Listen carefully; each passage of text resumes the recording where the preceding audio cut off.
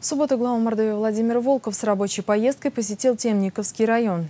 Удивился ли руководитель региона роботонизированной молочной ферме, о чем говорил с актером Андреем Мерзликиным и чем интересовался в сельском магазине, расскажет Павел Степаненко.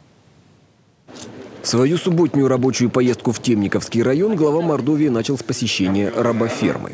Это одно из немногих в республике и единственное в районе хозяйства, где нет понятия утренняя, дневная или вечерняя дойка. Коровам предоставлена полная свобода. Они сами выбирают режим питания, сами решают, сколько раз им нужно подходить к доильному аппарату. Некоторые в заботливые руки роботов придаются по пять раз в сутки. Но Владимира Волкова техническими новшествами не удивишь. Он просит удивить надоями. Слушай, а вот э, 5200, да? Да. Все-таки э, робот это не, не дешевое удовольствие. Но 5200 достаточно вот для того, для того чтобы э, роботов применять? Ну, пока мы считаем, что на окупаемость выходим по бизнес-плану. Ну, на окупаемость. Без того, чтобы, значит, ну, как минимум, там 6-7 минимум, давать на, на корову, мы никогда не сделаем расширенного воспроизводства на себя. Никогда. Будем стремиться. Да. Ну, поэтому у тебя очень много здесь э, куда стремиться. В пример глава ставит хозяйство, которое, работая с таким же, как и здесь, традиционным стадом, получают от каждой коровы и по 10 тысяч килограммов молока в год. Руководитель уверил, над повышением продуктивности здесь работают и уже имеют определенные успехи. Пешком по заповедным местам. Главу региона в Мордовском государственном природном заповеднике интересует не только природа. Первый вопрос к руководителю об экономике. Туристов сейчас прибавилось? Да, у нас за 7 месяцев 4 тысячи. 4 тысячи. А в прошлом году? В прошлом было э, около 5,5 где-то за весь год. За весь год. Если в 2010 сравнивать, то 95 человек в 2010 и до 5,5 тысяч в прошлом году. В здешнем музее Владимиру Волкову показали и недавно реконструированную классическую экспозицию, и отдел, построенный по всем современным канонам. Интерактивный, инновационный, максимально приближенный к посетителю. Иногда с помощью увеличительного стекла. Это у вас лупа, да? Да, да, да, там маленький экспонат, но Ага. они очень хорошо сразу смотрятся. Ну да. Хорошо. А совсем маленький там какой-то клоп. Экскурсоводы у каждого экспоната подчеркивают, это очень нравится детям. Глава такое стремление угодить юным туристам оценил, а кое в чем даже поправил. Странно. Мы ловили его всегда. Это грязь, грязь высыпешь кор- корзинкой, вы на, на- на этот, как его, на берег. И потом уже в юнов собираешь. Так, с шутки начался серьезный разговор о роли заповедника и его музея в воспитании подрастающего поколения. Да, мы знаем, как это э, юна ловить. А некоторые ведь не видели, живет в, этом, в городе, ничего этого не знает. Все есть, то, что он видит, то, что он видит в фильмах, все есть здесь у нас, можно посмотреть. Тема развивается в течение всей экскурсии, и к ее окончанию глава подводит итог. Детским просвещением следует заниматься централизованно. Далеко везем школьников. А здесь вот то, что у нас есть, мы не смотрим. Посмотреть природу централизованно. В принципе, дорога нормальная из Саранска, из других районных центров. Посмотреть деревень. Пока же среди туристов здесь преобладают жители окрестных регионов, а также из Москвы и Санкт-Петербурга. А это уже сам Темников. У крыльца местного дворца культуры Владимир Волков приветствует актера Андрея Мерзликина. Он участвует в съемках фильма об адмирале Ушакове. Как здесь КВ? Мы прекрасно работаем уже второй день, без отдыха пока.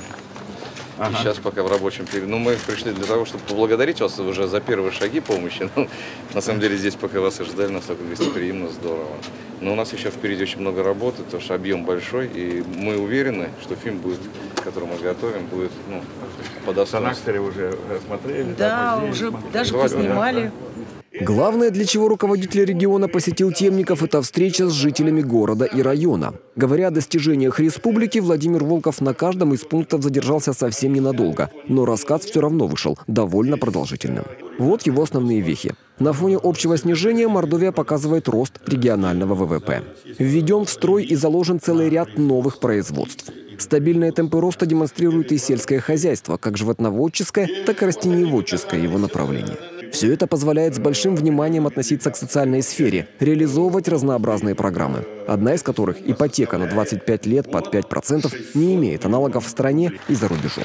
А значит, путь развития, который выбирают для себя жители Мордовии, правильный. У нас нет, нет больше богатства, и никто, ничто не приносило столько пользы для Мордовии, как наше консолидированное голосование. Ничто не приносило столько пользы. Вторая часть встречи была полностью посвящена вопросам жителей Темниковского района. Большинство из них касались ремонта и строительства дорог, но как самый главный Владимир Волков отметил другой. Нам нужно посмотреть еще раз, что у нас не удается. Промышленные предприятия здесь, в Темникове, э, необходимо открыть. И я считаю, вот, э, Э, как самая из основных задач на следующую пятилетку. Предложения по открытию в Темникове нового производства последовали незамедлительно. Молодые и активные предприниматели готовы вкладывать сюда деньги и энергию. Их Владимир Волков пригласил к себе, чтобы побеседовать более предметно. Обычно встреча с населением – это финал рабочих поездок главы Мордовии. Но не в этот раз. Из уютного, но тесного зала районного ДК мы перемещаемся на просторное пастбище. Здесь при минимальном участии человека набирают вес и растят потомство коровы мясной породы. Владимир Волков отмечает, это не только вклад в продовольственную безопасность страны.